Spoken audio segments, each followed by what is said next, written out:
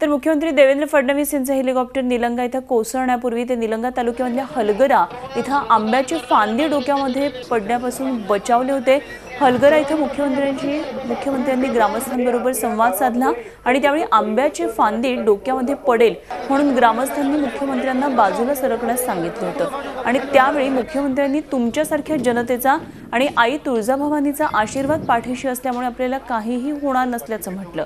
दरम्यान हलगरा गावचे जलायुक्तसाठी सुरू असलेले श्रमदान पाहून मुख्यमंत्र्यांनी हलगरा गाव दत्तक घेतलं आहे.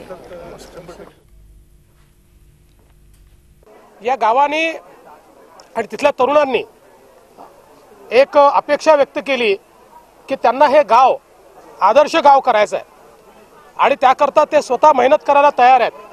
आणि म्हणून मी त्यांना सांगितलं की इतकं चांगलं काम तुम्ही करतात म्हणून हे गाव मी स्वतः दत्तक घेतलं आहे आणि पुढच्या दोन वर्षामध्ये सरकारच्या वेगवेगळ्या योजनांमधनं या ठिकाणी एक आदर्श गाव उभं करण्याचा आम्ही प्रयत्न करू. झी चोवीस तास रहा एक पाऊल पुढे.